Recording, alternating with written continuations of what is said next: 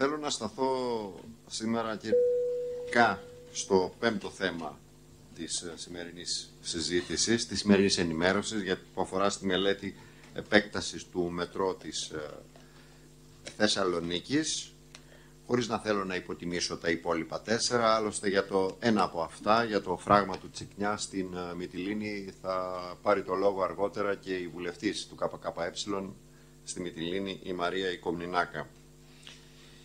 Και να πω κύριε Υπουργέ ότι το γνωρίζετε φυσικά, είμαστε σίγουροι ότι το γνωρίζετε, ότι είναι πολύ σκληρή η πραγματικότητα που ζουν οι Θεσσαλονικείς κάθε μέρα από την έλλειψη μέσων μαζικής μεταφοράς και οποιοδήποτε θα τολμούσα να πω σχεδιασμού υπέρ των μεγάλων αναγκών της πόλης, των κατοίκων της πόλης. Το μετρό της Θεσσαλονίκης των 10 διαφορετικών κυβερνήσεων μέχρι στιγμής που έχει κοστίσει τουλάχιστον μια μισή φορά πάνω από την αρχική του σύμβαση.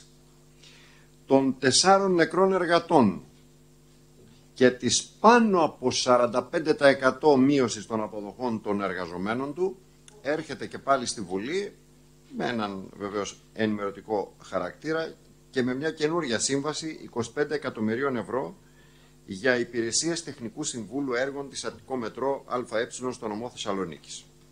Το αντικείμενο της σύμβασης περιλαμβάνει την παροχή υπηρεσιών από έναν έμπειρο τεχνικό σύμβουλο, ο οποίος θα διαθέτει, όπως λέτε, την απαιτούμενη τεχνογνωσία, προκειμένου να υποστηρίξει την ελληνικό μετρό στην υλοποίηση με εκτελούμενων αλλά και μελλοντικών μελετών και έργων που αφορούν τόσο στο βασικό έργο όσο και στην επέκταση του μετρό στην Καλαμαριά, στην επέκταση του μετρό προς το αεροδρόμιο, στην επέκταση του μετρό στις βορειοδυτικές συνοικίες και τα υπόλοιπα έργα προς ορίμανση. Το ερώτημα όμως εδώ κύριε Υπουργέ προκύπτει αβίαστα. Θα μπορούσε η ελληνικό μετρό ΑΕ να διέθετε η ίδια αφεαυτού της ένα τέτοιου είδους προσωπικό και ανθρώπινο δυναμικό έτσι ώστε να μην καταφεύγει σε υπηρεσίες άλλων ε, ιδιωτικών τεχνικών εταιριών. Εμείς λέμε ότι φυσικά και θα μπορούσε αν στελεχωνόταν από όλες διαδοχικά τις ελληνικές κυβερνήσεις οι οποίες απέφυγαν ακριβώς αυτό να κάνουν.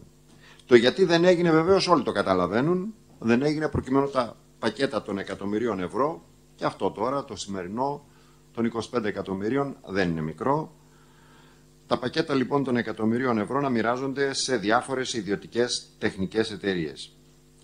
Και αυτό ξεκινά ε, με τις στα χαρτιά ακόμα επεκτάσεις του μετρό της Θεσσαλονίκης. Γιατί εδώ δεν λειτουργεί ακόμη η βασική γραμμή.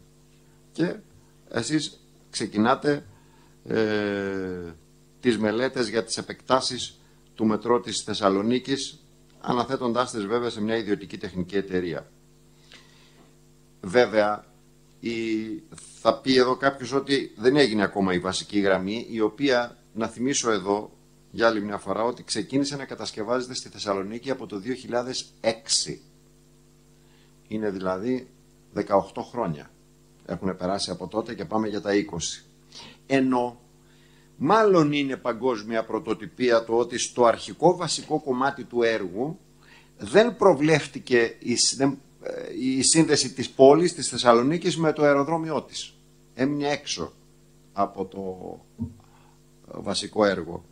Ε, δεν θέλω να πω περισσότερα. Νομίζω ότι ε, Ευχαριστούμε, πρέπει, κύριε να, πρέπει να το ξέρετε ότι δεν υπάρχει, δεν αντέχουν άλλη κοροϊδία πια ούτε οι εργαζόμενοι του έργου, ούτε ο λαός της πόλης, ο οποίος ταλαιπωρείται πραγματικά καθημερινά με την απαράδεκτη κατάσταση που επικρατεί στα μέσα μαζικής ε, μεταφοράς και στο κυκλοφοριακό, το οποίο επιβαρύνθηκε βεβαίως ακόμα περισσότερο και με την κατασκευή του flyover. Ευχαριστώ.